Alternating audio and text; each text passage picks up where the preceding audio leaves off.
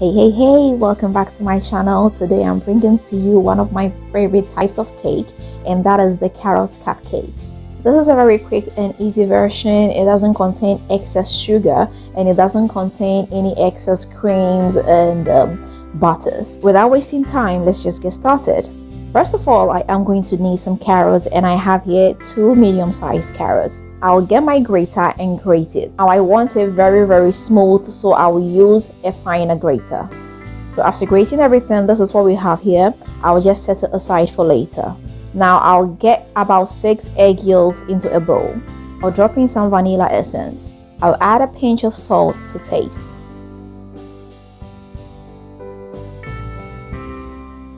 Now get about 200 grams of butter. I'll melt it up and add it into the egg mixture.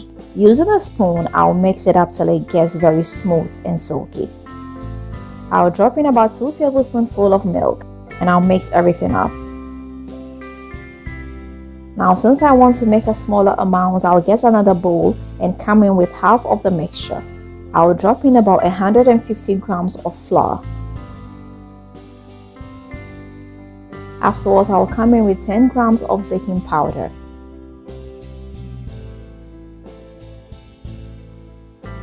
Next, I'll come in with my grated carrot. I'll mix everything up gently. When it's all mixed up, I'll get some cinnamon. Here I'll use about a teaspoonful of cinnamon. So I'll get my egg white and come in with about 150 grams of sugar. I'll whip it up till it gets fluffy. So it's super fluffy and is ready to be used. I'll get my cake mixture and come in with the egg white. I'll do this a little bit at a time. So don't forget this should be 3 or 4 egg whites. After mixing everything up, this is what we have here. I'll get my cupcake pan and line it with my cupcake papers. Now I'll fill it up. As you can see, it's all ready to go into the oven. I have preheated my oven to 150 degrees Celsius and I'll bake this for about 30 minutes. So it's been after 30 minutes and as you can see, our carrot cupcakes are ready.